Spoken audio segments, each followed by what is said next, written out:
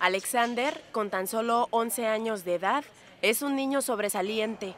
Él, al estar cursando el quinto grado de primaria en una escuela ubicada en el ejido Gregorio Vázquez, que se ubica en el municipio de Rosario, notaron que su aprendizaje era más acelerado que el resto de sus compañeros, por lo que fue contactado por parte de ACES, el programa que brinda apoyos a sobresalientes en el estado de Sinaloa, para valorar sus capacidades. Después de varios exámenes de conocimientos y habilidades, se tomó la determinación que su nivel de aprendizaje era como el de un alumno de primero de secundaria, por lo que al finalizar el quinto grado de primaria, no cursó el sexto grado y fue trasladado a primero de secundaria. Pues vinieron de Culiacán a hacerme exámenes y resultó que tenía la mentalidad apropiada para estar en secundaria. Fueron como test psicológicos de agilidad mental. Pues consiguiendo una beca aquí, yo convencí a mi mamá, le dije que quería una beca, quería estudiar aquí en Mazatlán y dije que si no podían pagar un colegio, yo quería conseguir una beca, que yo podía. Y lo logré.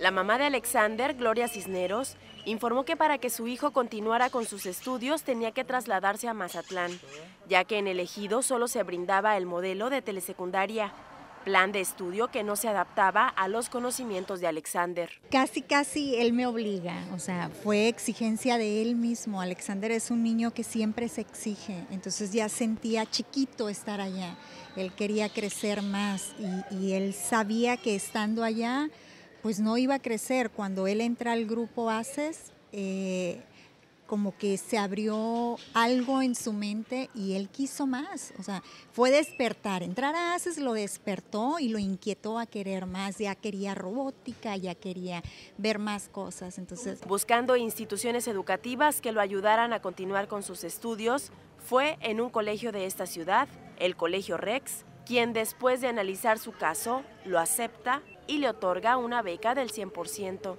Alexander se, lo conocimos a través del grupo ACES y el acercarse a nosotros con la cuestión de que él quería estudiar en Mazatlán, eh, hablamos nosotros entre pues con los dueños de la institución para proponer darle una beca completa para que él tuviera esta oportunidad de estudiar y también pues para apoyarlo en esa manera porque pues si alguien tiene el deseo de seguir estudiando, pues hay que apoyársele, ¿no? Pues es que sí son muy contados los niños que tienen esas capacidades para lograr lo que él está logrando. Y es, es lo mismo, no solamente son que él tenga el conocimiento y que tenga este don, sino que él también tiene la actitud para llevarlo. Desde que inició este ciclo escolar ha sido un alumno destacado. Ha participado en eventos educativos como la Olimpiada del Conocimiento Infantil que a nivel estatal obtuvo el cuarto lugar y que le permitió obtener un pase en el mes de agosto para visitar Los Pinos y conocer al presidente de la República.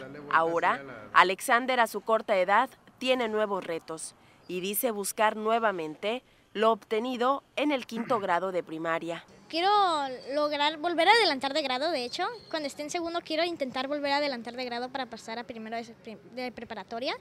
Y ahorita, justo ahora estoy en una olimpiada de oratoria que quiero superar. Eh, quiero, hacer, quiero estudiar informática, me gustan las cosas innovadoras. Con imágenes de Raúl Conde, en la edición Carlos Castillo, las noticias TVP, Paloma Gutiérrez.